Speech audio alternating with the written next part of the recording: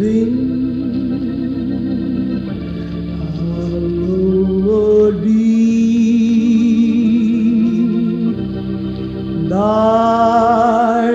name. Thy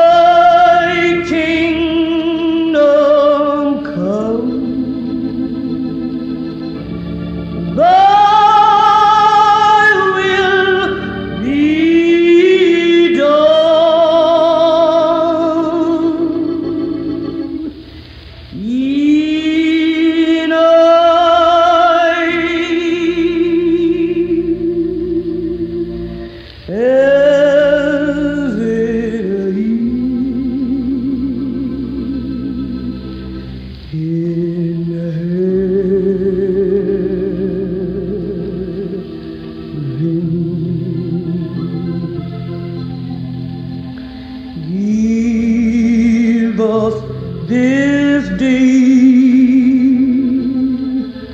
our daily bread and forgive us our debt as we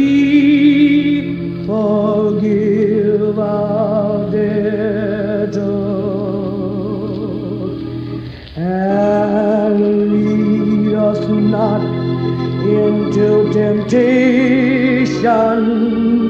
but deliver us from evil.